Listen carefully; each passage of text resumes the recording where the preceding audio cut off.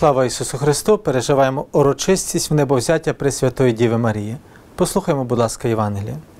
Тими днями Марія, вставши, поспішно пішла в гірську місцевість до міста Юдиного. Вона війшла в дім Захарії, привітала Єлисавету. Коли ж почула Єлисавета привітання Марії, заворушилося немовля в її утробі. Єлисавета сповнилася Святим Духом і вигукнула гучним голосом, промовляючи: Благословена ти між жінками, і благословений плід твоєї утроби. І звідки ж мені це, щоби до мене прийшла мати мого Господа? Бо як я почула Твоє привітання, то з радощів заворушилася дитина в моїй утробі. Блажена ж та, яка повірила, що здійсниться сказане їй Господом. А Марія промовила: Величає душа моя Господа, і радіє дух мій у Бозі Спасителі моїм, бо Він зглянувся на покору слугині своєї. Ось бо віднині блаженою зватимуть мене всі покоління, бо вчинив мені велике сильний, і святе ім'я Його, і милосердя Його з роду в рід для тих, хто боїться Його. Він виявив силу свого рамена, розсіяв гордих думками сердець їхніх, скинув могутніх з престолів і підняв угору покірних, голодних наситив благами, а багатих відіслав ні з чим. Він пригорнув Ізраїля слугу свого, згадавши милосердя, як і проголосив нашим батькам Авраамові та роду його аж до віку. Тож Марія перебувала в неї якихось три місяці і повернулася до свого дому. Слово Господнє, слава тобі, Христе! Досить прекрасна сьогоднішня урочистість в небовзяття Пресвятої Діви Марії, котра показує Пресвяту Діву, котра спішить ділитися доброю новиною, котра біжить. Якщо б е, подивитися на теперішні часи, коли Пресвята Діва Марія пішла би до лікарів, пішла би до психолога, пішла би до гінеколога, вони сказали, ні, сиди вдома, навіть не думай. Не думай бігти, бо страшно, можеш втратити дитину. Марія, котра відчуває потребу бігти, потребу ділитися, потребу бути поруч своєю кревною Єлисаветою. Коли ми відкриваємо книгу Откровення, ми бачимо жінку, одягнену в сонце, жінку, проти котрої відступає дракон, котрий прагне пожерти, котрий прагне вбити її дитя. Так, переслідування в церкві тривають постійно, переслідування, боротьба з церквою триває постійно, але ніколи не маємо забувати, що ми завжди є переможцями, тому що Ісус Христос раз і назавжди переміг. І тому Ісус Христос залишає нам Пресвяту Діву Марію. Щось досить страшним ми можемо почитати в книзі Откровення в 11 розділі. Тобто бачимо інше знамення на небі, великий червоний дракон. Можна собі лише уявити, як це щось страшно виглядає. Тобто сім голів і десять рогів, щось надзвичайне, велике, надзвичайне страшне, що прагне пожерти церкву. І натомість книга Откровення говорить: нині настало спасіння, сила і царство Бога нашого, і влада Його. Тобто постійно Марія родить Ісуса Христа, Марія постійно родить кожного з нас. Мати Ісусова, яка на небесах уже прославлена з тілом і душею, є прообразом та началом цієї церкви що звершується в будучому віці.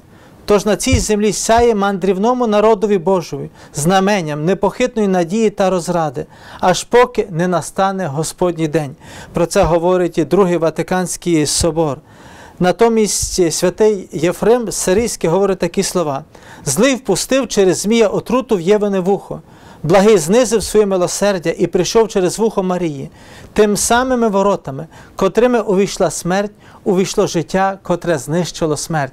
Подивимося, наскільки делікатно показує святий Єфрим Сирійський, що так як через жінку прийшло, прийшов гріх, через жінку прийшло спасіння до кожного з нас.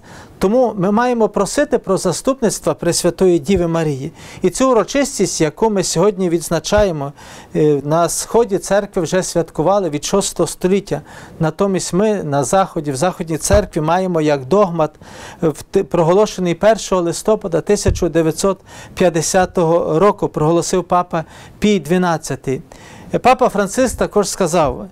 Е, Марія зазнала мучеництва Христа, мучеництва свого серця, мучеництва душі. Вона дуже страждала у своєму серці, коли Ісус терпів на Христі. Страждання Сина вона переживала до глибини душі. Вона була повністю з ним з'єднана у смерті і тому отримала дар Воскресіння. Христос первісток воскреслих, і Марія первісток відкуплених, перша із тих, що належить Христові. Вона наша мати.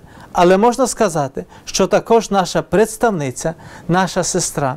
Існують дві школи, існують дві традиції. Тобто одна школа говорить, що Марія заснула, інша, що Марія померла, і Господь її забрав вже як помершу до свого царства, до, до Небесного царства.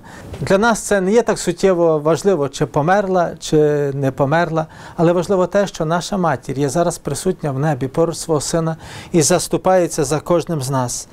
Е, Святий Йоанн Дамаскин говорить такі слова. Годилося, щоб той, хто зберіг її дівицтво при своїм різдві, зберіг тіло нетлінним по її смерті.